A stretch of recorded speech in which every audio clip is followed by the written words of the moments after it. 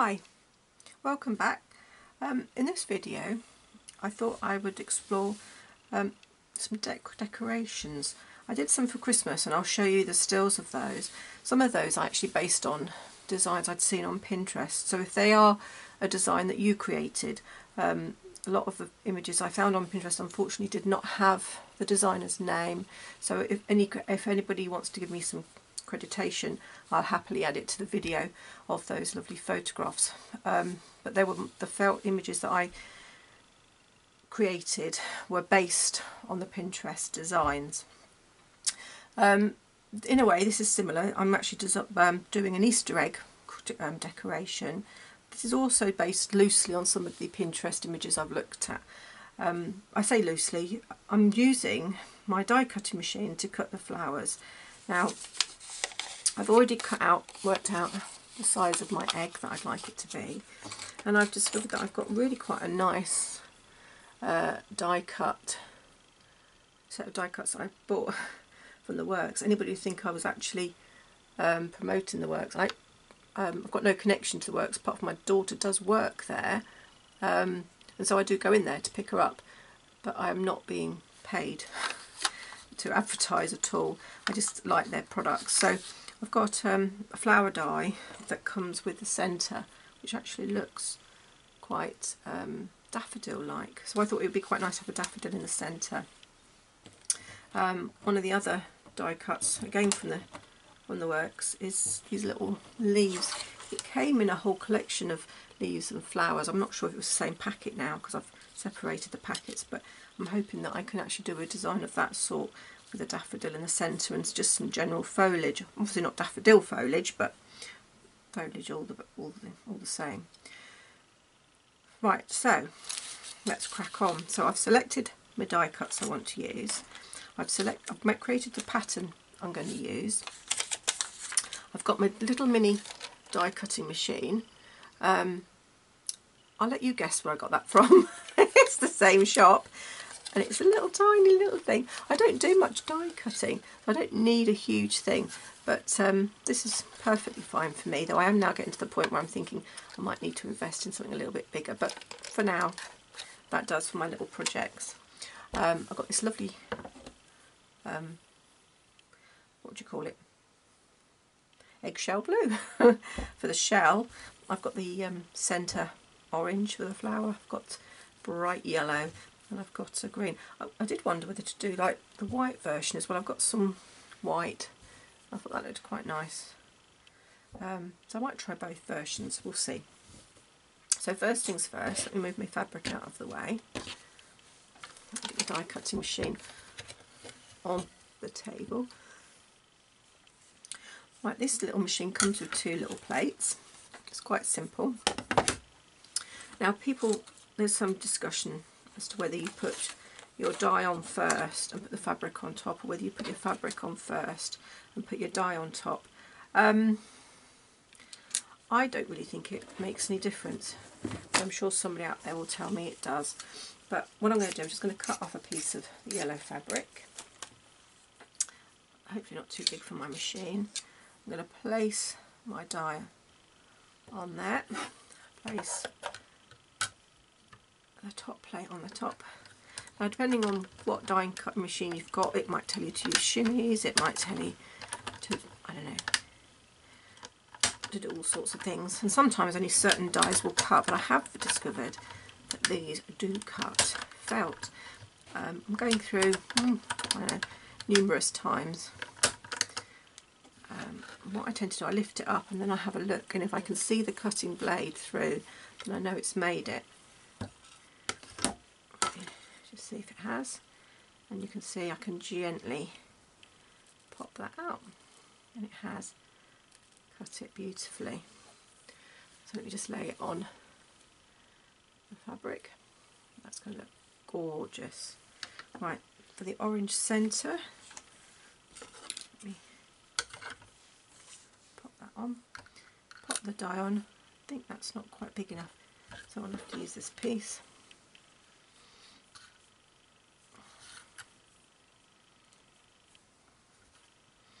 Yeah, I think for me I prefer to put the die on top because I can see exactly where I'm positioning it and I can also see if it moves when I put the top plate on. There has been occasions when it has shifted as I put the plate on. Two, three, uh, one more for luck. it has cut. It has, it's cut beautifully. So I'm pleased with that. Let's have a look. See, let's just see how it builds my pattern up. You can see I've got, mm, does it look like a daffodil? I'm not sure if that isn't too, what's the word I'm looking for, spiky. I'm not sure if I've got a, a more discreet centre. So we're looking in another kit and see. I have got this one, but I don't know if that might be too big.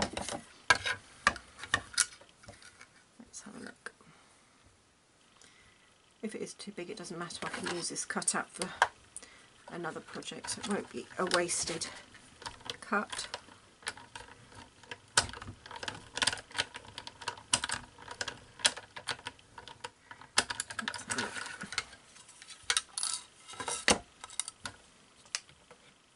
Oh, a pretty little shape. Let's have a look, see if that looks any better. Now that looks too big actually that would look lovely in the bigger flower. There is, I do have a bigger flower, so I might keep that one for the bigger flower. I'll keep that one for that flower. Okay, so we've got that. I've got some little bits of green.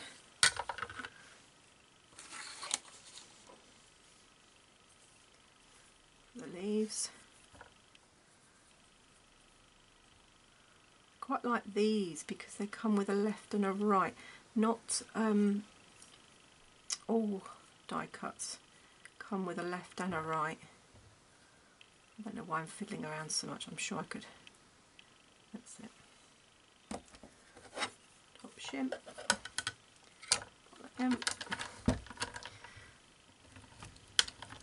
One, two,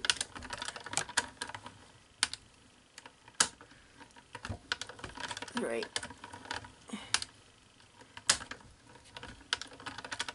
Four.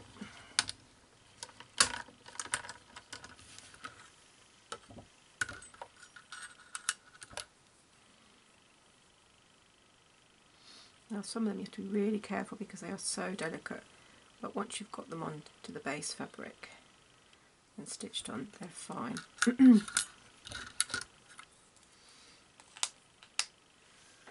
Right, so that's me using my cutting machine. Right, okay, I've got my egg pattern.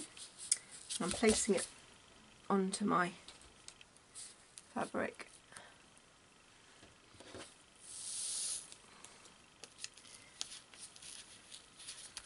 I'm just going to pin that through. Now, I'm umming and ahhing whether to do pinking shear edge. You could do a pinking shear edge, however I think I'm going to stick to a regular sewing edge. So I'm just going to get my scissors and I'm going to cut it out. I'm cutting them out at the same time because then I know when I put them together later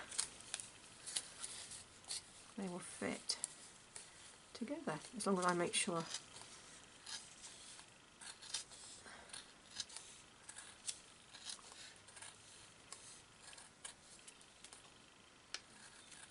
Okay right Now here's a question for you. How many of you, when you cut with scissors, you either cut with your tongue hanging out or you move your jaw as if you're cutting with your jaw? I know I certainly do. Right, okay, so I've got my back and I've got my front. Now, I'm not entirely sure whether to decorate the back separately. I think I will actually. I think I might explore some more of my... That looks really rather nice. Quite chuffed with that. I think I might move it to one side and then have the flowers have the petals, or the leaves I should say, coming from the side like that. That looks quite nice.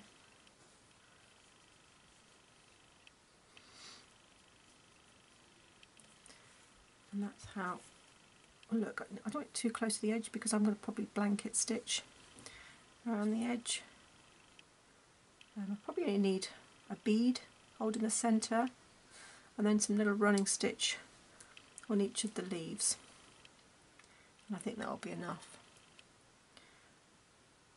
so what I'm going to do is come up with a design for the back. So move these out of the way. I'm going to have I think I'm going to have a strip, strip of white. I think I might have, I quite like the pinking shear edge actually, that's quite nice isn't it? A pinking shear edge, some white, and perhaps even a strip of orange. Quite nice. Now the strip of orange, what I could do is get my little cutting machine back and again from the same company that I keep mentioning over and over again um, they had some they have lovely borders and I think I might use one of their borders. There it is, a lovely border. And I think I might just pop that on.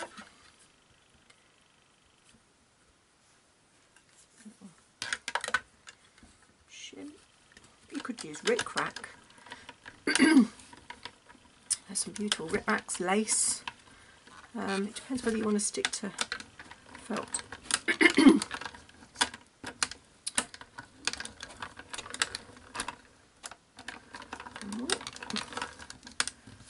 Let's see if that's done it. I think that has. Oh, and there we have a little diddy decorative strip. I could put on to my felt. Or do I actually prefer the scallops?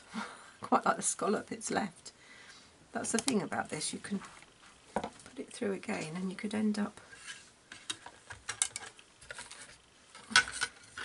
with two of these and what would normally be waste actually be quite a pretty scallop.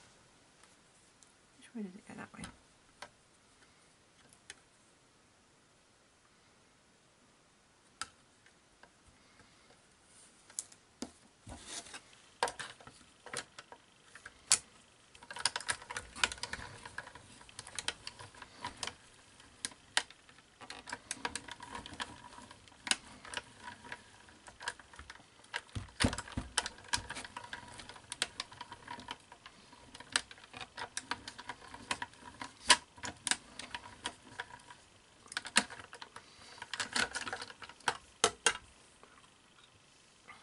Oh, I haven't left myself scallop. but you could see how that might, if that was a little bit wider. I think that's a little bit too delicate. It might sew on. We'll see. I do, I do like that. That is rather pretty.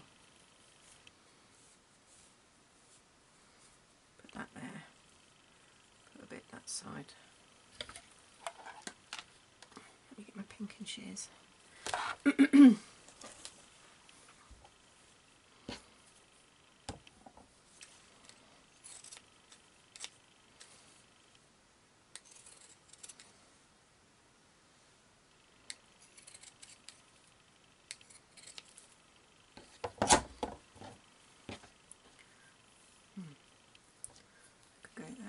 Oh, I could. Don't know if I like that. No, I might take that one off, actually it's too pale. That's better, shows up better. Mm, possibly. Actually, perhaps that does look quite nice on there. Quite like that. And then perhaps the dark green as a strip. Let's have a look, see a dark green here.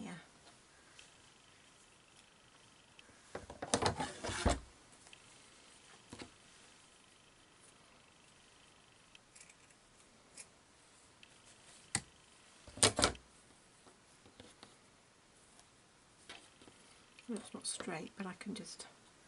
Actually, I might do that on that edge. That's what I'll do. Just straighten that up. Those out of the way. You can use those for another one later.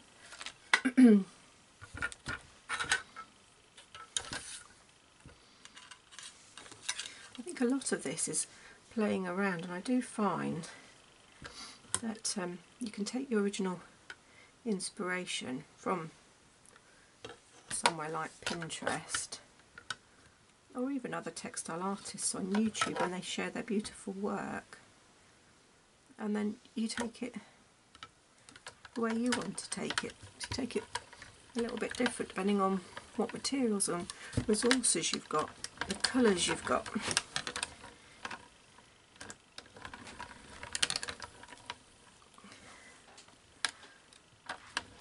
Whenever I teach textile workshops I'm always fascinated by the fact I can give every single lady or even gentleman the same kit and yet they could always always end up with something completely different from each person next to them even if they're following the instructions of the course.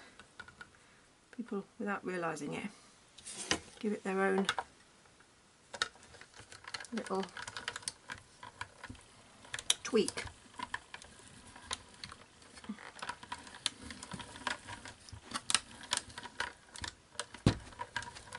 one more.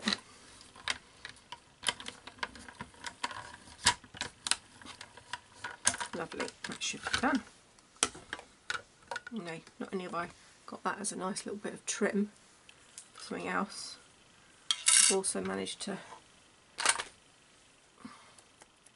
just got to flick the little holes out think what one of the things I quite like with the, using the felt doing this is the fact that it doesn't get caught in your dies, unlike paper. to get the pokey tool out. Oh, that's really quite pretty. Let's just see how that looks now.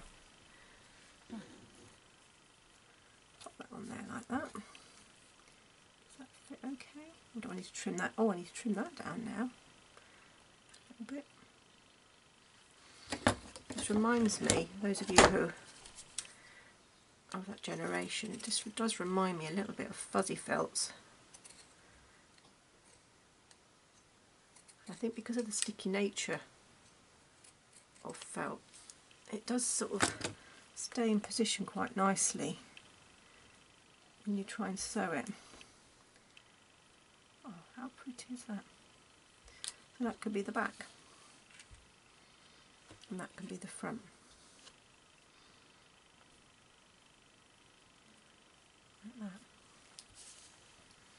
Okay. What I'm going to do is I'm going to now zoom in a little bit. she says.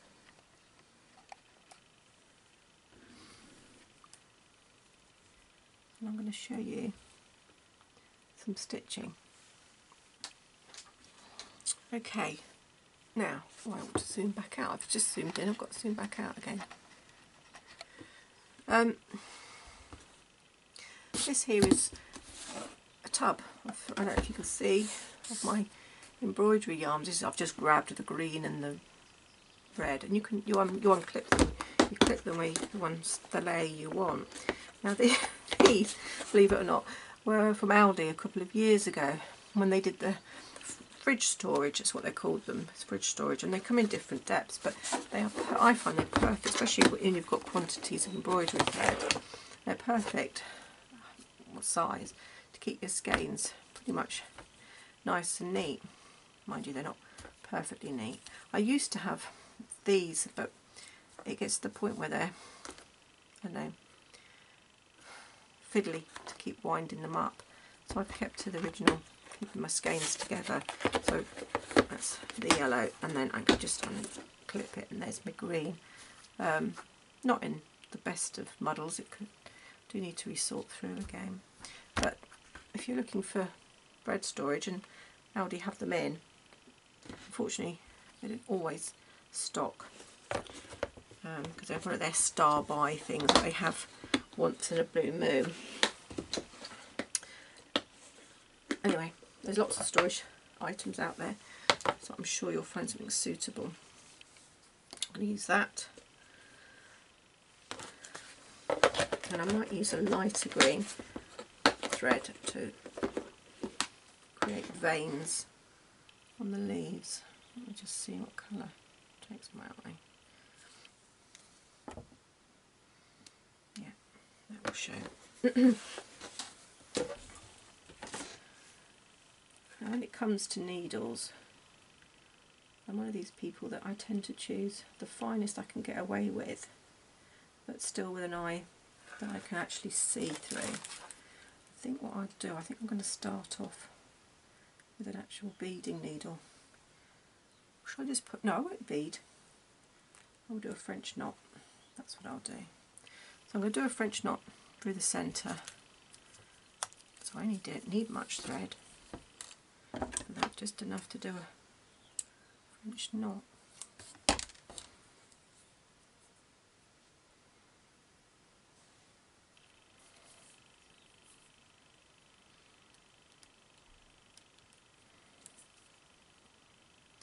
I'll put a knot on the back. Right, okie dokie. So that's where I want the flower. I'm just going to come up the middle, like that. Place it down, wrap it. One, two, three will be, oh no, let's do a fourth one. And then down again. I think that will be enough. I'm tempted, I'm actually tempted to put some stitching in the petals. I'm going to do one, and if I don't like the look of it, I'll undo it.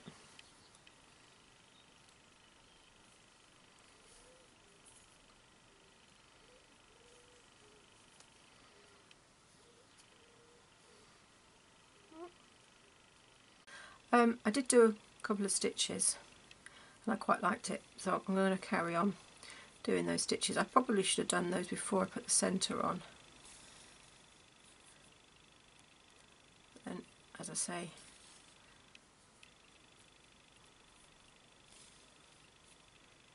can't always be sure what you want to create until you create it. At the moment you're just following along with me playing. Move on to the next one.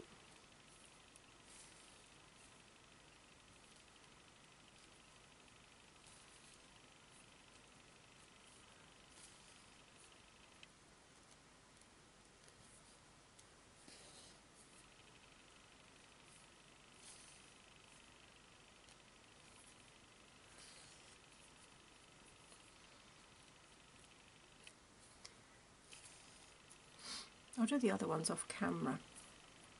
I think you've got the idea now what I'm doing.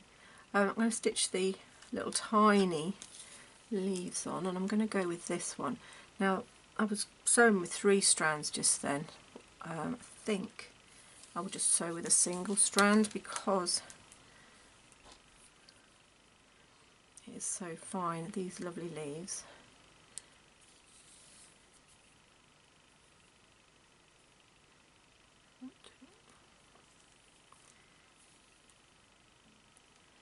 Now, the knack with these is to get it to look like it's growing from underneath, so I'm just going to use my needle just to tuck it back under the petal. And it is, they are so fragile.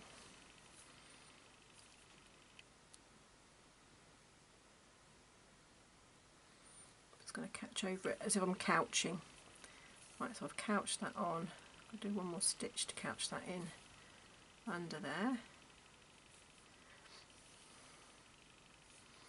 I'm going to couch the stem a bit more.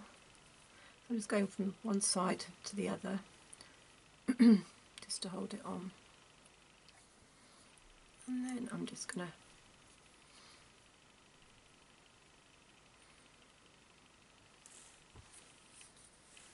I don't know if you can see I'm just going to do a single stitch all the way up. Ooh.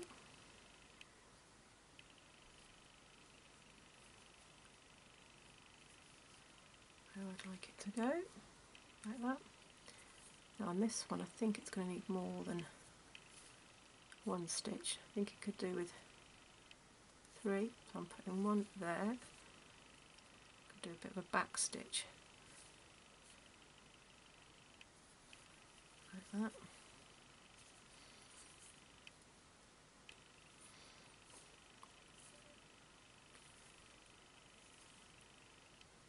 To there. And then this just needs one stitch at the bottom. Oops.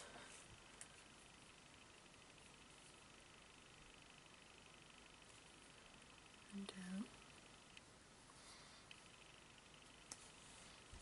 You can see that.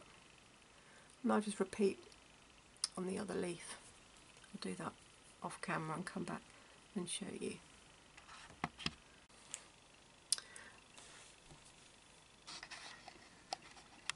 Okay.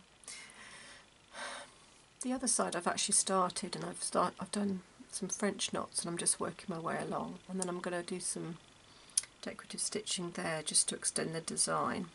So I'm just coming up, just to, if you haven't done a French knot before you come up, I like to lay it on my surface and then hold it in my right hand. If you're left hand you have to do it opposite. And then I just wrap the needle. One, two, three, four. And then I go down, not letting go of the thread. And as soon as I'm in place, if I need to tighten it up I can. I don't need to tighten it. Don't tighten it too much because otherwise the head of your needle won't go through. And then you just pull it through. And that's how you do a French knot. One more. So you come up, pull your needle up, place it on the table, grab your thread in one hand, or your needle, you're up near the base, one, two, three, pop your needle back into the fabric.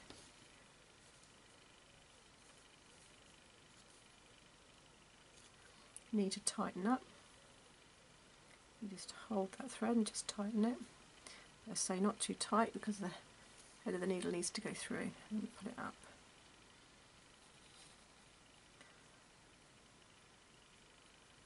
Just got two more to do.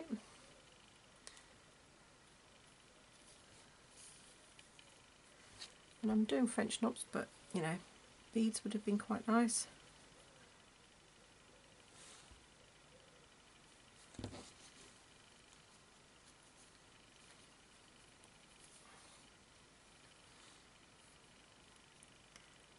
the last one, I think what I'll do, I'll cut that end off because it's just going to keep getting in my way.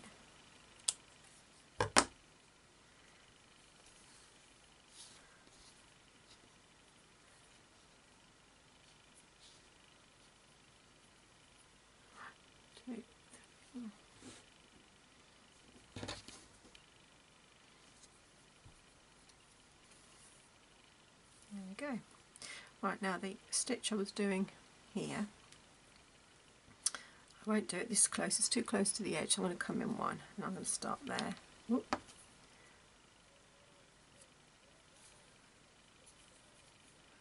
do a longish stitch and then just two shorter stitches that. Move on to the next one and repeat. And as long as I try and keep the length the same, I'm actually just eyeballing it. You could get a ruler and mark them all on if you wanted them all to be absolutely spot on even.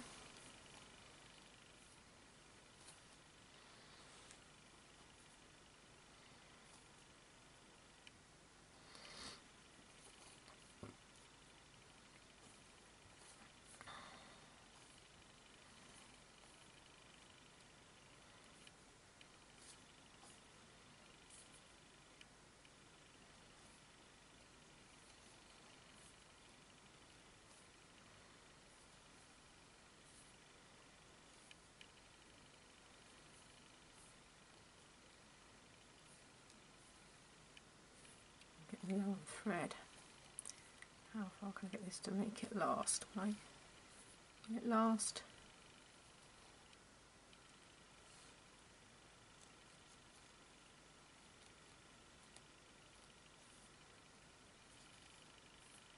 It will do the big one. It won't do the small ones. I've just run out of thread. I might put one back on the end here as well actually. So you can see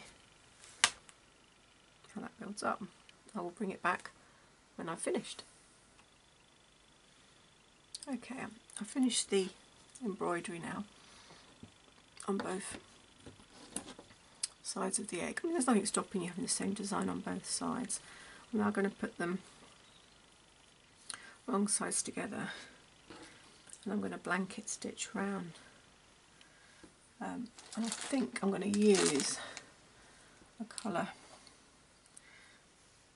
almost matches so it doesn't detract from it's not bad colour doesn't detract from the design in front I did think about doing it in yellow but I did feel it would detract so I'm going to go for a colour that almost matches I'm going to go for three strands and I'm just going to thread that up. Now people, as uh, I tend to keep them together. Though some people say they lie better and flatter if you take them all apart. Right, I'm going to allow for uh, the hang on the top there, tuck that in out of the way. Now I've gone as close to the edge as I dare I'm going to do blanket stitch, so I'm going to come down, wrap, and come up. So I'm going to come in, wrap, and then pull up.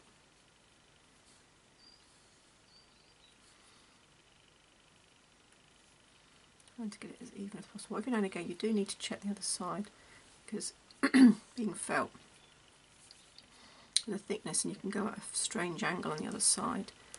So it's always worth poking in, checking the other side straight and pulling up.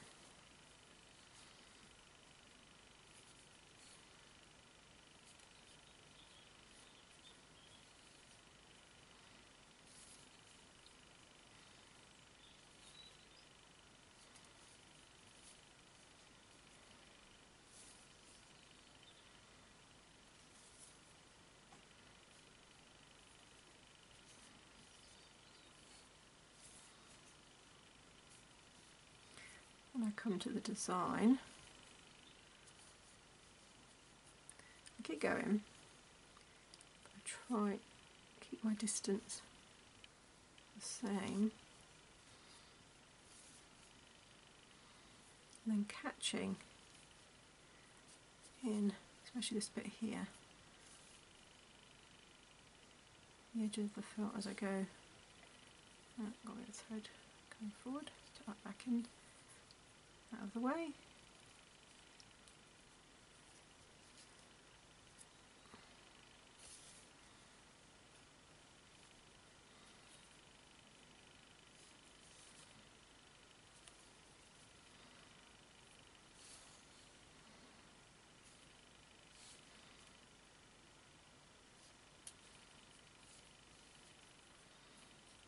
Keep going all the way around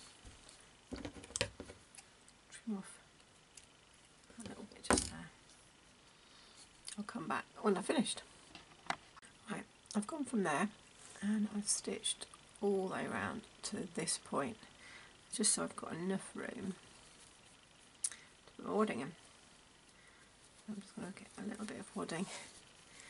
What I did do with some of the other ones, the Christmas decorations, I actually did use up quite a lot of my old trimmings from the cotton batting when I make quilts. Um, that's a good way of using up, yes, scrapped, scrap cotton batting.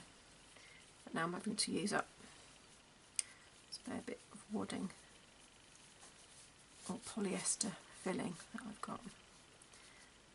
And you can see all I've got to do now is sew up here.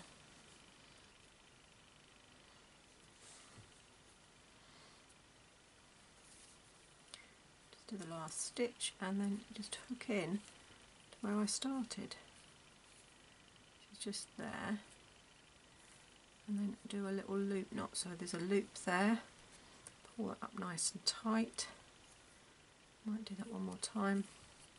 Oh, no, the loop's disappeared. I wasn't quick enough. There's a loop. Through the loop. And then I'm just going to go back inside and then hide my tail end inside. Now you're probably thinking, oh, well, Claire, you could use that as a hangy bit. I could, but I'm going to make a, to show you how I do my hangy bits. So that is how, how it looks. It's just okay. What I've done now, this is um, my ironing board. My a lot of people have these nice wool ones, but I chose to have a, just a piece of wood from the bottom, bottom of an old drawer actually, and then I've wrapped some old, really old-fashioned linen um, cloths that, uh, that have been left in my nana's old kitchen.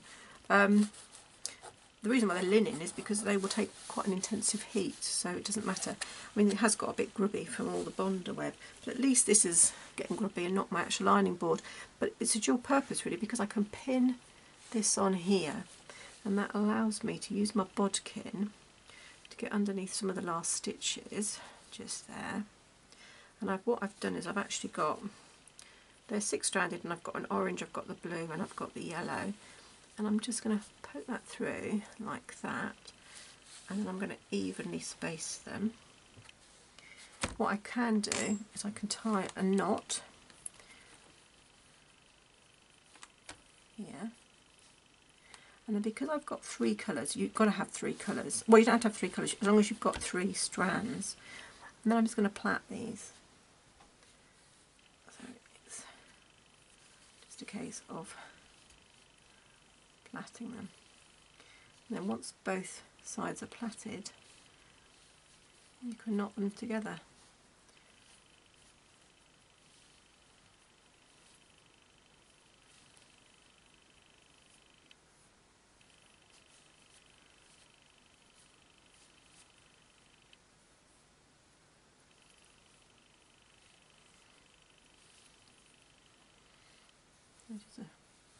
a very three strand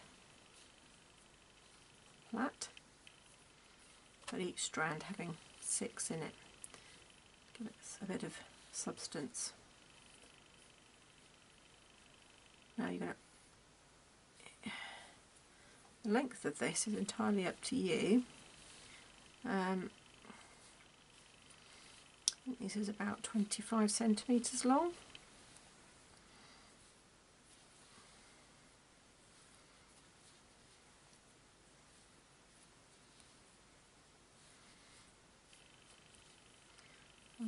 to a point where I think that's not too bad. I think I'll stop there. I'll stop. What I can do is wrap it around a pin so it doesn't come undone, pin it to my board, and then plait the other side.